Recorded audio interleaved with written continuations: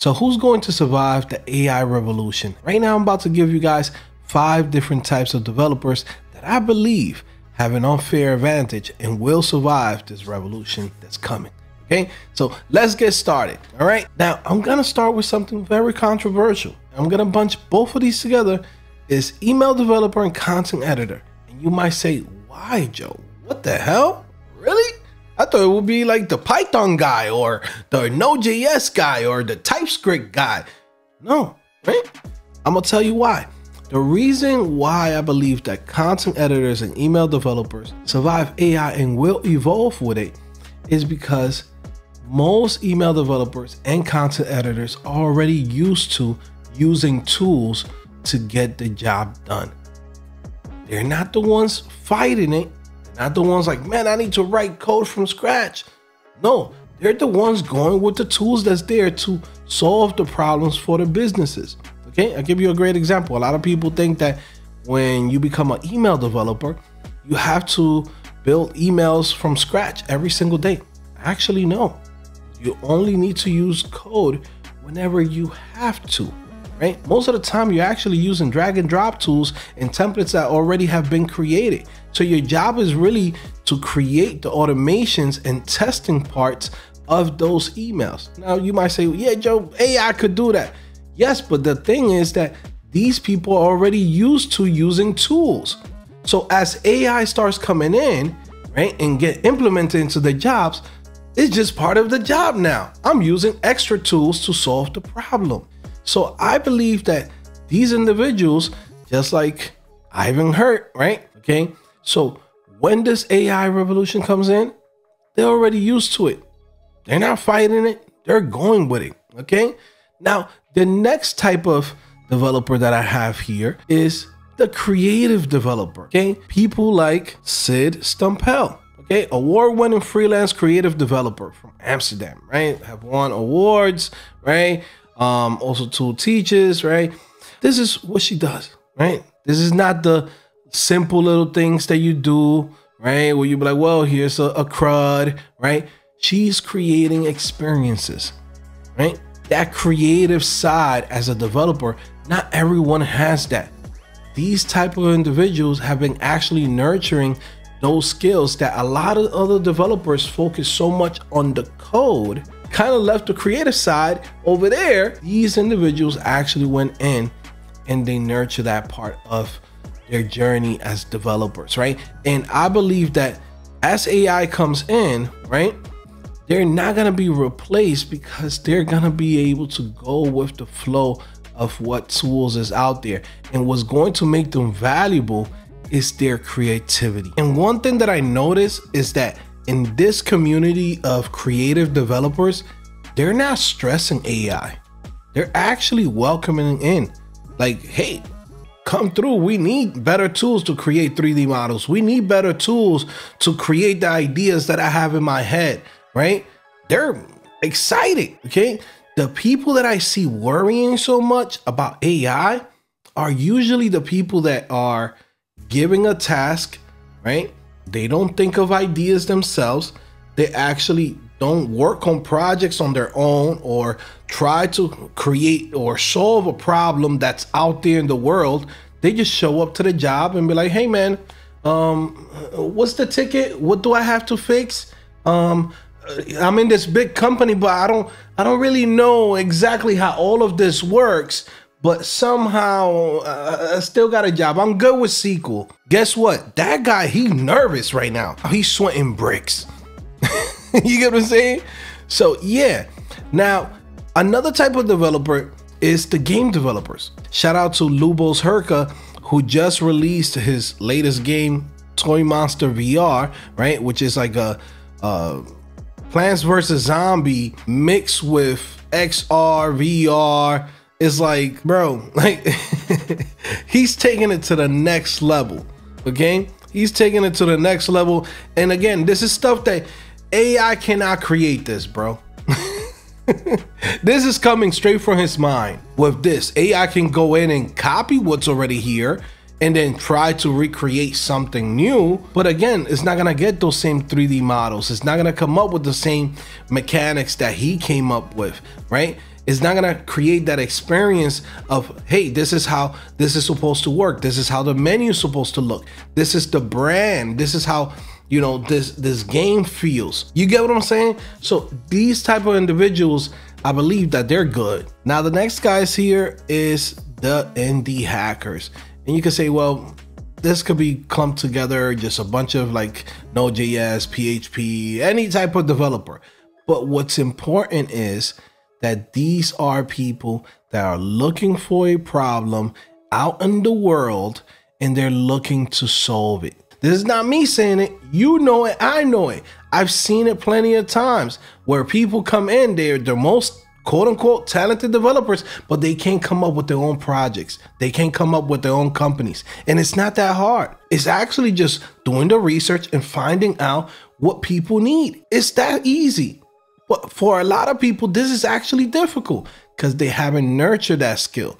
Okay. So again, we could go in and, and check this out, right? You got guys that you know will, will laugh and will, they'll freaking crack jokes online man every other ai starter being a chat gpt wrapper right and it's usually the dude that he's not building shit he's not doing nothing he don't plan on building anything he has no ideas but he loves to go online and talk about man look at these guys they're always creating a wrapper right but what they don't understand those are tools that's what AI is going to be.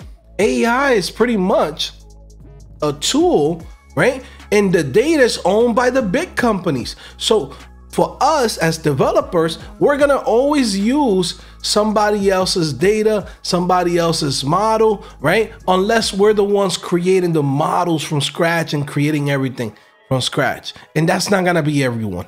Let's just be honest. Okay, this is why he's making money. Why is everybody following this guy with no shoes in Thailand? right? Shout out to Pieter Levels, right? But the dude's been grinding for years. I'm gonna go in and build tools for a niche community of nomads because guess what? I travel and I realize that there's a need for this. Let me go and create it. These apps are not difficult. These apps are built with basic PHP, jQuery, and MySQL. Like the things that other developers that are like super technical and the latest trendy guys, they look down on those applications. This guy's making millions. That's the thing that a lot of people don't have. You get what I'm saying? So these type of individuals, they're gonna go in and take all of this AI tools and all of these opportunities and they're just gonna kill it because they understand the process of actually finding a problem and using code to actually build a solution.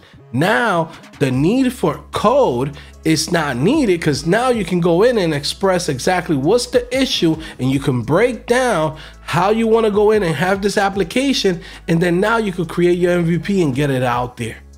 Now, the last position that I have here that I believe is future proof, right, is the systems architect. Okay. And that comes with being able to understand the business and knowing the tools that a business needs to grow and to work efficiently, right? Now, again, this already started, right? We could literally say this is happening right now, okay? Shout out to Goda, right? Her channel is Goda Go, right? And she actually has a channel where she talks about AI. And what I like about her channel is that she's creating content that brings awareness to AI, but there's a purpose to it, right? She actually has a full service AI agency, right? So what they do is they actually go in and help businesses grow, right? And help them build, you know, the right infrastructure by using the right AI tools for that specific business. So again, this is something that is not going away, right? You can literally see it here. The systems architect should not only hold programming skills, but they also require business and organizational expertise. They should also be able to give tasks to other members of the IT team so they can focus in the area of expertise. Okay, Yes, you, you know that guy who's like a, a, senior developer that everybody always goes and asks him question even though there's 20 other developers, but there's always one guy that knows everything. He knows how the business works. He knows all the different stacks that they're using. They know everything about the company. Guess what? That guy, he's not going away. that guy, that girl, they're not going away. Okay? No matter what AI throws at them, guess what? Those people are going to be needed. Those are going to be the overseers. right? Those are the guys that they're to come in and they're to look at the overview of everything that's happening. It's like, okay, go ahead, little Bob. Go ahead, little AI. Go ahead, little Cindy. Go ahead, little uh, R2D2. Keep doing what y'all doing. But this is how you got to work together. This is what we're building. He's the one that's that's guiding this, right? Remember, this is similar to like construction, right? A lot of times people come in and, and, and don't simplify these things, but it's really like construction, right? There's a guy that does tile, there's a guy that does the electrical system, there's a guy that does, you know, even the, the sprinklers outside, right? There's a position for everyone. But guess what? There's an architect. There's somebody that's overseeing the whole project and making sure that everything gets done properly. And he's seen the whole project from a bird's eye view. He knows what's going on. That type of individual is always going to be needed, no matter what. All right, guys. So I hope you guys are not scared. Don't feel nervous because you're like, man, holy shoot, I, I'm not one of these type of guys, right? Guess what? This is an opportunity for you to learn other skills. This is an opportunity for you to look at the world a little bit differently, right? Sometimes we, you know, as the developers, we thought that, hey, if I'm really good with this programming language, right? That guarantees that I can get a job. Currently, right now, it might still be like that. But in the near future, it's just gonna be about what you have here and the experiences that you have as a developer. So now, how do you go in and take a little bit of marketing, take a little bit of business, take a little bit of design, take a little bit of your creativity, nurturing that, you know, put a seed on that right? Water it, okay? When was the last time that you wrote a song? When was the last time that you uh, wrote a, a poem? When was the last time that you actually drew something? There's a lot of different ways that you can go in and help your brain as far as like building your skill levels for creativity. Like this is a big thing. You're gonna see it, right? It's not just gonna be about ones and zeros. It's gonna be more than that. And a lot of these tools they're going to make our lives way easier. But some people will get left behind. That's just the facts. Right? It's just like, you know, in basketball or any sports, right? Some people, guess what? You know, they were really good when there was, you know, in, in, junior high school, they were five nine. everybody was five nine. But guess what? There's a point where people, you know, come back after the summer and they're like, holy shoot, bro, what happened to you? You seven foot tall now yeah, I came back prepped. You get what I'm saying? Like, I had a growth spurt, right? Like that's the thing. That's how this career is going to be. Some people will get left behind. Some people that naturally have some some of the skills, right? And some that actually go in and you know put in the work to get these type of skills. You know, right? Outside of just coding and programming. One thing that I do want to tell you guys is like don't be scared. Don't stop learning now. Don't listen to anything that you see online. Like, well, that's it. You don't need to code. That's dumb, right? You're gonna need to know how to code. All right, guys. So you already know it's your boy Joe back at it again. Codingphase.com. I hope that you guys enjoyed this video. Give me a like. Um, tell me what you guys think. You agree with me? You disagree with me? Right? Do you understand what I was trying to show you guys in this video? right? Let me know in the comment section. It's very important. I, I want to find out what you think, right? Um, especially about the content editor and email developer, because I know that's going to be controversial. Some people's going to say, well, those are the first people to go. And it's like, actually, no, I don't think so. Those are the first people that will be trained on the new tools. So it's going to be very interesting on what you guys say on the comment section. Definitely let me know. Um, by the way guys if you want to learn how to code you already know where you got to go man. Come to codingphase.com right? This is what we do. We teach people how to get into the tech industry how to get started right? If this is something that you want to do we can definitely help you out right? It's a great platform. We don't teach coding as a hobby. We actually teach skills Go check out the developer portfolio blueprint, guys. 95% of you guys are making the same mistakes. Y'all don't have a good portfolio. And guess what? There's not an AI looking at your portfolio. It's a human being looking at your work. And if they're not engaged and it's not converting into you getting more interviews, guess what? How you gonna get hired if you're not getting an interview? So again, if you're going through that struggle, definitely go check this out.